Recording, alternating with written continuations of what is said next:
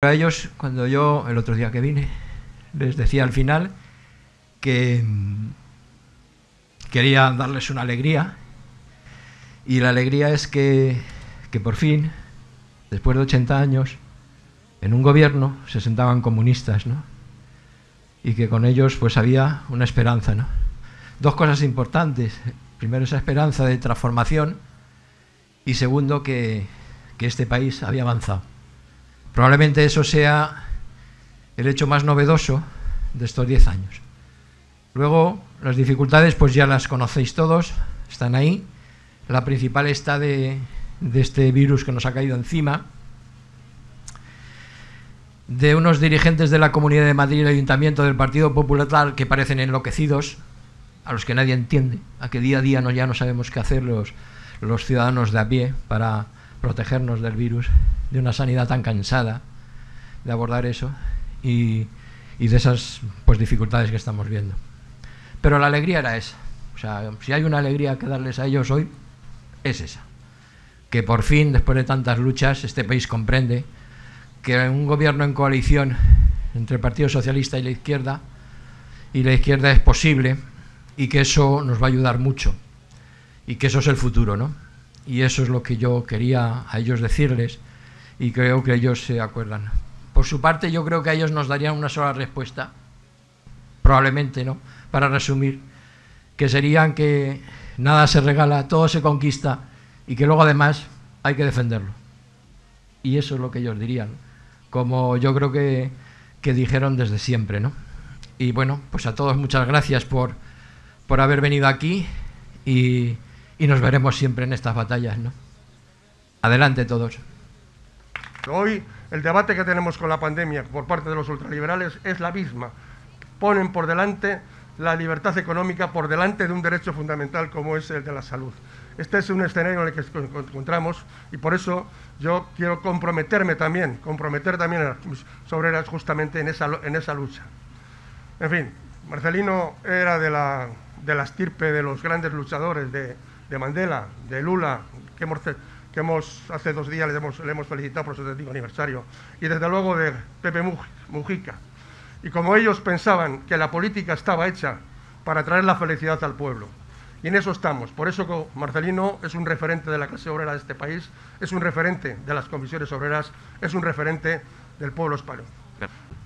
Marcelino, Josefina, tantos hombres y tantas mujeres que se simbolizan en sus personas, trajeron lo mejor de nuestro país trajeron lo mejor de nuestra tradición histórica al hecho concreto, a esa lucha en la fábrica, a esa lucha en todas las instituciones. Por eso, honrarlos, por eso recordarlos, es un ejercicio de justicia. Que nadie nos robe esos ejercicios, que nadie pretenda que nos desviemos del camino adecuado. Y ese camino nos lo marcó Marcelino con aquella frase imborrable, aquella frase que permanecerá siempre en nuestros corazones y en la lucha. Siempre adelante, siempre a la izquierda. Hoy, cada vez que un ministro o ministras de Unidas Podemos llevan al Boletín Oficial del Estado una ley para favorecer, garantizar los derechos de los trabajadores y trabajadoras de este país, Marcelino Camacho está presente. Hoy, cada vez que la izquierda, que el movimiento sindical, que nuestro pueblo para al fascismo, para al neofranquismo, Marcelino Camacho está presente. Hoy, cada día que organizamos la resistencia, el apoyo mutuo de nuestro pueblo frente a la crisis, frente a la pandemia, Marcelino y Josefina están presentes. Este acto de hoy, de décimo aniversario de su siembra, simplemente es para recordarlo con más fuerza, porque nunca hemos perdido de vista sus enseñanzas. Su enseñanza y su ejemplo. El ejemplo de Marcelino luchando por la legalidad republicana, la legalidad constitucional. El ejemplo de Marcelino aguantando en los campos de concentración. La huida de Marcelino hacia la resistencia y la lucha en el exilio.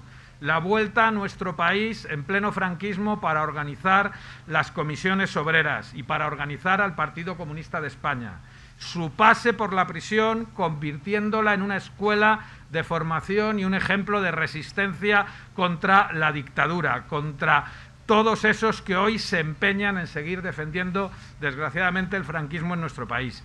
Y el Marcelino, padre de la democracia, padre de nuestras libertades públicas y de nuestros derechos. El Marcelino, diputado del Partido Comunista de España, que defendió con fuerza la ley de amnistía y las leyes laborales.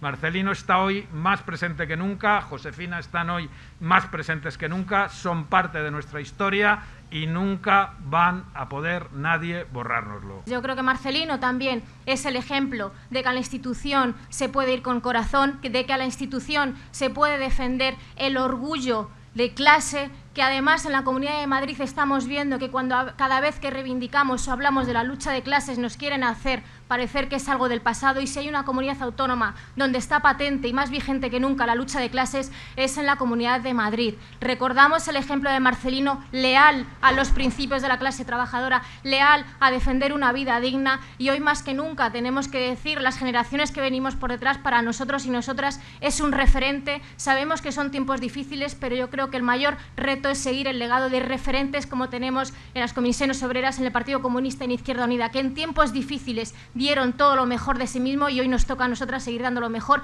para defender a nuestra clase. Muchas gracias, compañeras. Las organizaciones que hoy participamos en este evento somos también parte de una familia. Somos una familia con una visión del mundo progresista, socialista, que pretendemos cambiar y corregir muchos de los errores que asolan a nuestra sociedad hoy en día. Seguro que se llevaba una gran noticia sabiendo que hay organizaciones con influencia para cambiar las cosas en las instituciones, en la calle, pero también con hitos y símbolos muy importantes, como es el hecho, permitidme que lo diga hoy aquí, de que precisamente el Ministerio de Trabajo esté ahora mismo eh, comandado por una mujer, Yolanda Díaz, que es parte de esta gran familia de la que estamos hablando hoy aquí, por varias razones. Primero, porque significa que las siglas del Partido Comunista están en el Gobierno de España y, en segundo lugar, porque también se trata de una mujer en nuestras organizaciones políticas y señala los nuevos cambios y los nuevos retos que tenemos que abordar. Termino ya. Son retos que vamos a enfrentar y que estamos enfrentando distintos a los que enfrentó Marcelino. Algunos son los mismos, otros son los mismos. La barbarie también tiene otros rostros, la barbarie también tiene otro lenguaje, pero sin duda saber recoger ese legado, saber utilizar y poner en valor lo público, la lucha colectiva, como han dicho los compañeros que han hablado previamente a mí, creo que será la mejor brújula para seguir luchando por aquellos mismos motivos por los que lucharon personas como Marcelinos, a las que debemos toda la gratitud por el compromiso social expresado y toda la gratitud por seguir enseñándonos todavía diez años después de su marcha. Muchas gracias, salud y república. Tenemos aquí hoy a dos personas que forman parte del Gobierno de España. Y es para nosotros y para nosotras, para las comisiones obreras, un honor contar hoy aquí con una representación del Gobierno de nuestro país, reconociendo una figura imprescindible como es Marcelino Camacho. Pero creo que las dos personas que forman parte del Gobierno de España interpretarán bien la licencia de decir que creo que es también un honor para el Gobierno de este país formar parte hoy del homenaje a Marcelino Camacho, porque considero que Marcelino Camacho es una de las figuras más relevantes de la España del siglo XX. Y Marcelino Camacho representa en la primera fase de su vida esa lucha contra el fascismo, en la guerra que se perdió en España y en la guerra mundial que se ganó en Europa y en el mundo.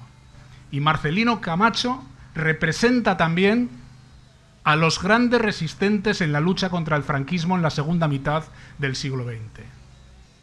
Porque Marcelino Camacho, contribuyendo junto con otros muchos a organizar aquellas incipientes comisiones obreras, fueron capaces de leer el momento histórico que vivía España. Fueron capaces de leer que el eje de rotación geopolítico del mundo había cambiado y que las políticas que los países occidentales habían abandonado a su suerte a la oposición democrática española y evidentemente a la Segunda República Española. Y fueron capaces de leer un momento histórico en la década de los 60 y en la década de los 70 donde las movilizaciones que se empezaban a generar en el país, al calor de un desarrollismo que hacía que la clase obrera reivindicara sus mejoras en las condiciones de trabajo, estas reivindicaciones no fueran solo reivindicaciones legítimamente materialistas, sino que tuvieron una vertiente sociopolítica que hilaron la lucha por las mejores condiciones, las mejores condiciones de trabajo con la recuperación de la democracia, los derechos laborales y las libertades sindicales. Y aquellas comisiones obreras en los años 60, en los años 70 y en la posterior legalización fueron claves para explicar la transición a la democracia en nuestro país que no fue concedida, que tuvo distintos proyectos, que trató de perpetuar una especie de franquismo sin Franco a través de la figura de Arias Navarro, que tuvo que descarrilarse desde la lucha obrera, desde la galerna de huelgas, desde los sucesos de Vitoria, desde los tiros en Ferrón en el año 72, desde una ingente pelea desde las calles que desarrolló la parte más concienciada de la clase obrera de este país. Y después de haber soportado el exilio, la cárcel, la represión, la falta de libertades, tuvieron la inteligencia política de entender que no se podía permitir, una vez descarrilado el primer proceso de transición en falso, no se podía caer en las provocaciones involucionistas que se concretaron en los atentados de Atocha y había que apostar por ese sistema democrático con sus imperfecciones, pero que permitió a este país equipararse a otros sistemas democráticos a lo largo del tiempo de nuestro entorno europeo. Y esa visión política esa visión de sindicato sociopolítico ligado al centro de trabajo, pero con idea de transformar la sociedad, la ejemplificaron, eh, yo diría que generaciones con un indiscutible mérito sindical y mérito político que ejemplifican como muy pocas personas Marcelino Camacho. Arriba,